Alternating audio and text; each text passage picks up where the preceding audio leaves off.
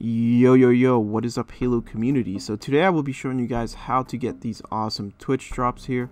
But before we jump into this, if you guys could do me a solid and hit that sub and like button to stay updated on info like this. Alrighty, so let's get right into it. So if you watch the HCS NA Super that is going to be happening on August 5th, you will be able to get these awesome cosmetics, which includes a charm and a pretty sweet looking armor coating.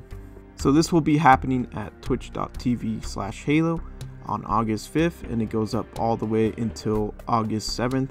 So these are all via Twitch drops, so of course you gotta have your account connected. So the first drop you can get is called Holy Flare. Now this is a weapon charm and if it isn't obvious already, it's actually a plasma grenade weapon charm which is pretty cool looking. In order to get this weapon charm, all you gotta do is watch the stream for two hours and it's available during any of these days. So august 5th august 6th august 7th uh, it doesn't matter where you start.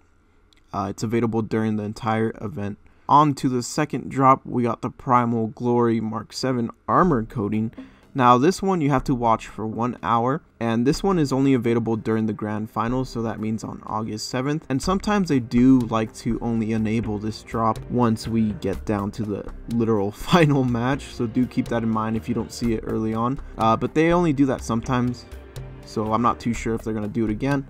But uh, yeah just keep that in mind. So that is how you can get these awesome Twitch drops. Uh, of course remember to link your accounts I will be making a tutorial video on how to link your uh, Twitch account to your Halo account because I know people have been struggling with that. So uh, stay tuned for that. I also want to mention that sometimes they do uh, co-streamer kind of things where you watch like a certain specific streamer and you get an additional drop but usually those are just like a uh, nameplate or something more minor but you know still cool so I'll let you guys know about that probably in the comment section because they might have something like that, but they usually share that like later down the line once we get closer to the start of the event. So uh, if that does happen, I'll just let you guys know in the like in a pinned comment down below or something like that.